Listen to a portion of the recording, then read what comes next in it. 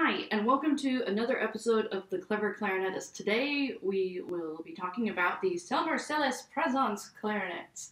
I will be doing a demonstration of all of the B flat instruments in my inventory today so you can kind of get a feel for what the Selmer Présence is like, um, how the instruments are different from each other, how they are similar, um, and all in all, what to look for when you're picking out a new instrument, um, especially when you're working with these Selmer, um, Selmer Paris instruments. Um, I've got my personal instrument attached to my body.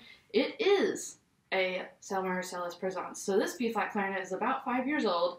Um, it just came back from the shop with an overhaul, so it should be able to hold up pretty well um, with these other new guys. So you'll get a like a really solid example of the differences between these brand new instruments and how the how they're standing the test of time, if you will. So without further ado, we're going to use my clarinet today as the control. Um, Selmer SeleS Présence B-flat clarinet, about five years old. My barrel is a Brian Corbin uh, traditional barrel that is 65 millimeters long. Um, we'll talk about these barrel lengths when I get to it. I have my D'Addario Reserve Evolution mouthpiece and the Reserve, or D'Addario Reserve Classic reeds strength three and a half, and this is a reed I particularly enjoy playing on. Um, oh, and a Silverstein Hexa ligature in rose gold. So I will be using an F major scale, slurred and articulated, and I will be playing some of the opening to Brahms's F major, E flat major, sorry, F E flat major clarinet sonata um, for our trial. So here we go. So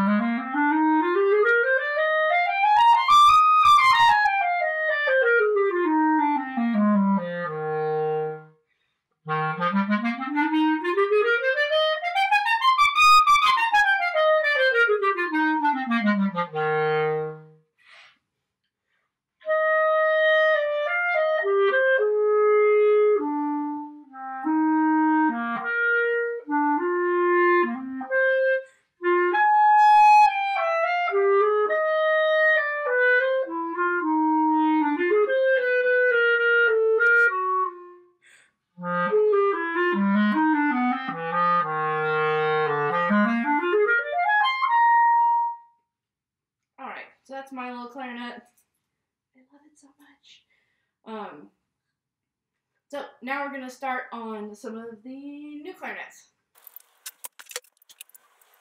All right, this is serial number S02189.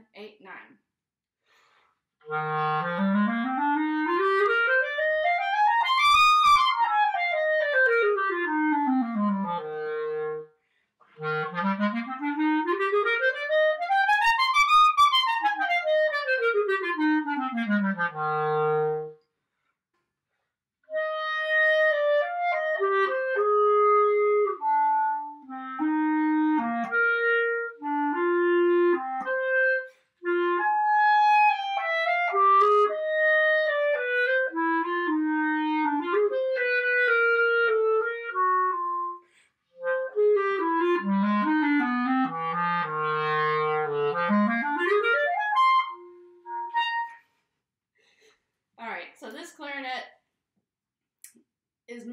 exactly my cup of tea. It's a little bit different from mine. Um, but a lot of these things can be adjusted. Um, I think the main difference for me is that the key heights are a little bit the the rings are a little bit higher than what I would typically like, and I haven't adjusted that yet because I know I'm not everybody. But if you like the sound of this clarinet and you would like to give it a try, just let me know and we can do whatever adjustments you might possibly need for um, basic key heights or spring tensions or anything like that.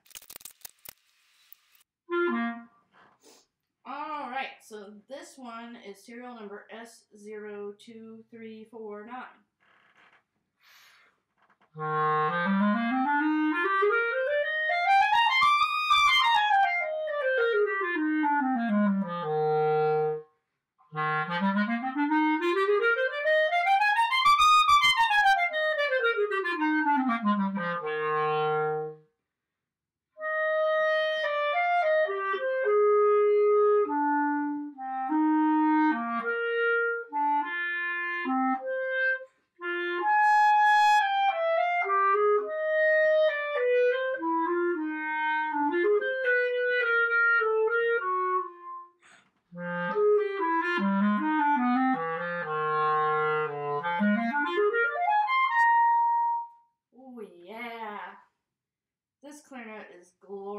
And I love it.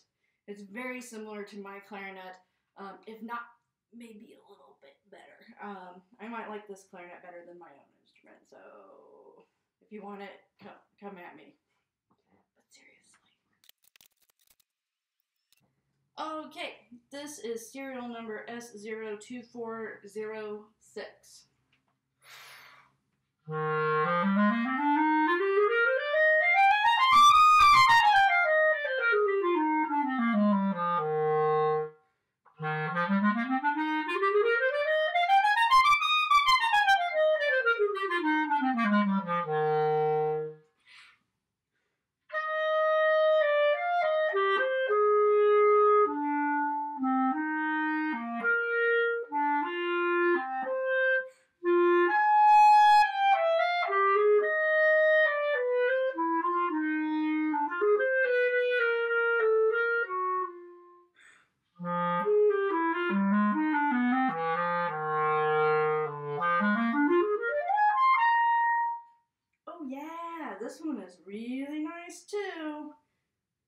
Yeah, I think I might like both of those clarinets better than my clarinet, but that's okay. I still think my clarinet has stood the test of time pretty well.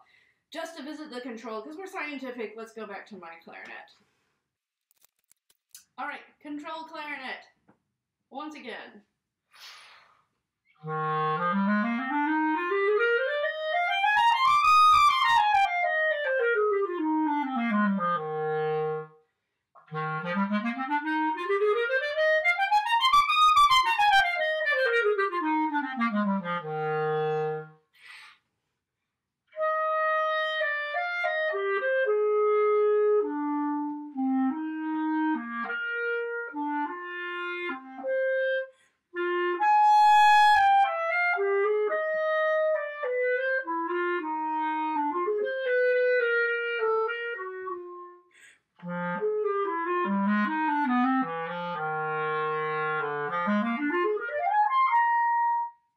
Oh yeah.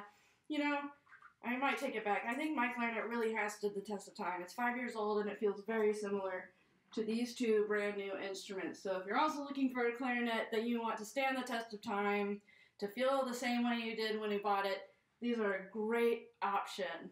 Um, I have three in stock right now. If you're interested in trying these out, please feel free to comment below, send me a message. Uh, visit cleverclarinetist.com or shoot me an email at larkin at cleverclarinetist.com. Um, all right, so we talked a little bit about intonation and how important that is. So I've got my control clarinet, my clarinet here. We're gonna do a little intonation test. Um, I've got my tuner. I like the app Tunable because it's very intense. um, but any any reliable tuner app you like is fine, um, or an analog tuner is also good. So for the clarinet, I like to start by tuning my open G. No matter what concert pitch is, if you're playing A clarinet, still an open G, doesn't matter. Um, the reason is because that's when the tube is pretty short, and so you would tune that note based um, based on your barrel and your top joint here. Then we would tune a concert A. I know I'm switching gears a little bit. So on my B flat clarinet, I'll be a B, um, and then I would tune this joint here. Um, if you find yourself needing to tune your bell, that is a pretty strong um, indicator that your clarinet is blowing out and it's time for a new one or that there's something wrong with it. Because these notes down here um, should be hanging out on the low side. Like your low E and F, they shouldn't be super sharp. Alright, so I'm going to tune my open G on my clarinet.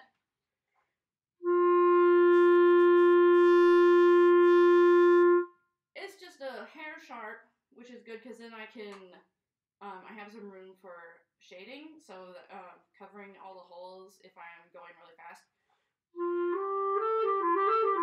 Or some kind of motion like that. So, my throat G is pretty good, just a hair sharp. Now I'm going to tune my A.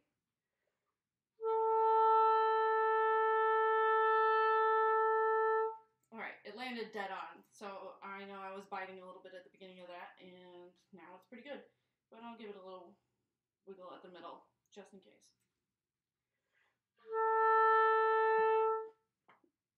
Yes, it is beautiful. All right, so, and then I also like on new clarinets to see how the high range is kind of ending up.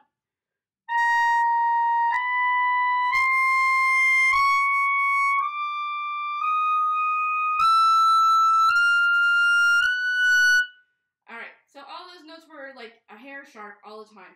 Now I know I said that like every single note I just tested was a hair sharp, but that's kind of the point is that everything was a hair sharp. Everything was exactly the same amount of sharp, which was kind of what we were going for. You'd rather be a little bit on the high side, I think, because you have room to pull out. On clarinet, if you're on the low side, some major modifications have to happen. Um, all right, so let's test the intonation on one of these other clarinets. I'll pick which one was my favorite um, after this one. All right, so we got my favorite new clarinet in the inventory, which is S02349. Did you agree? Uh, if so or if not, let me know in the comments. All right, so as I said earlier, my barrel is a 65 millimeter barrel. The barrels that come with these instruments are 65 and a half millimeters. For some reason, that half millimeter makes a huge difference to me, intonation wise.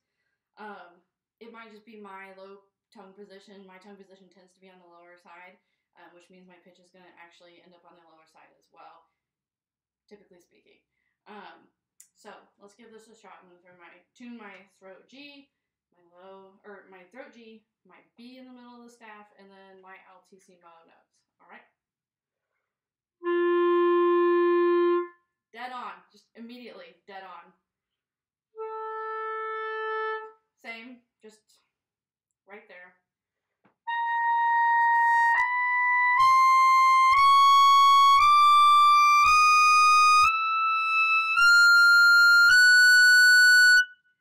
And these are all square on as well. Like this. this might be the perfect clarinet. Just saying. Um, so I love the evenness of this instrument. I love the intonation of the, this instrument. And of course, the cherry on top is that the sound is glorious. Um, again, serial number S02349. Please contact me if you're interested in this instrument. It's awesome. Um, I guarantee you'll love it. Um, but stick around for more